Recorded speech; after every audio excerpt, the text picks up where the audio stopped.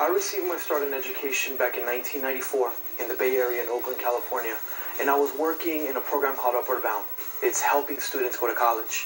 But every year I saw more and more kids falling through the cracks. I didn't know what to do about it yet. It's not till almost a decade later that I opened my own school out of a garage called the Making Changes Freedom School. We had that for about three years. But then I still felt like the kids that are gang involved, they're kind of considered the throwaways of society. I wanted to do something about that. So we began a program three years ago called the Homies Empowerment Program. And really it's to help kids that are gang involved, that are gang active, see themselves as real heroes, see themselves as warriors, and do something different with their life. I came as an immigrant uh, from Mexico, came at the age 11 to the city of Compton, California. And I didn't have a choice because if I didn't say I was from a different neighborhood, I could seriously be jumped or hurt. So I hung around. Uh, I hung around um, a lot of people that were gang involved. I was doing a lot of criminal activity that I'm not proud of, and I paid many prices for that.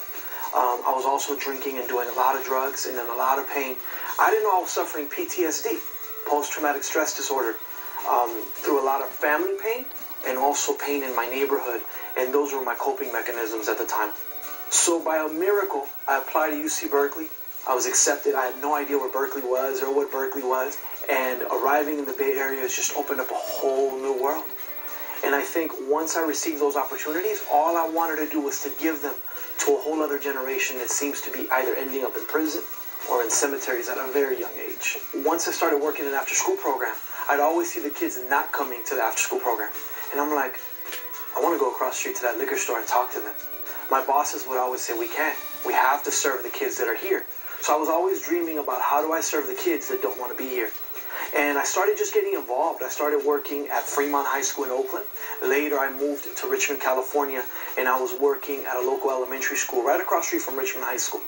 And literally, is being on the block, um, serving kids and meeting kids and understanding what their needs are that I began to realize we have to create something different for them when we think about gang culture, gang culture is so much a part of American culture.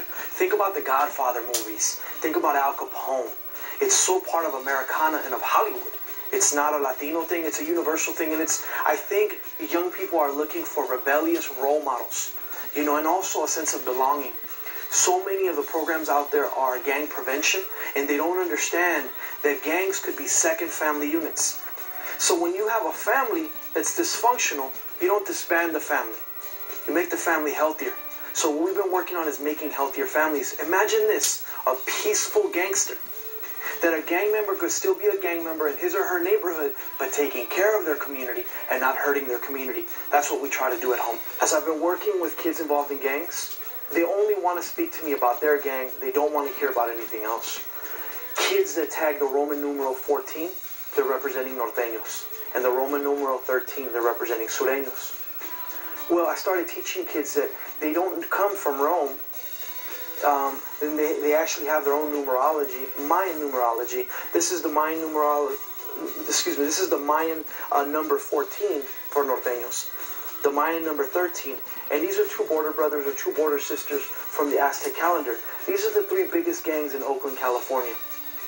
What if we could see them united? What if we didn't turn against each other, but to each other for support? Imagine how powerful we'd be. I average about six to ten funerals a year.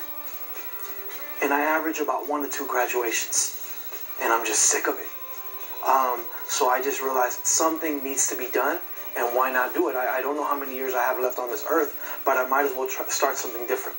If I can just say this real quickly, we began with knowledge of self, meaning, who am I? I work primarily with Latinos, and why not teach them Latino history? It's not a novel idea, but there isn't a single school in Oakland Unified School District that teaches Latino history. I have to show up after school with a shopping cart, and I teach it after school at Fremont and Castlemont High Schools. To me, that's criminal. When kids don't know who they are, it's easier to hate someone else. And it's harder to respect someone else when I don't respect myself or know who I really am.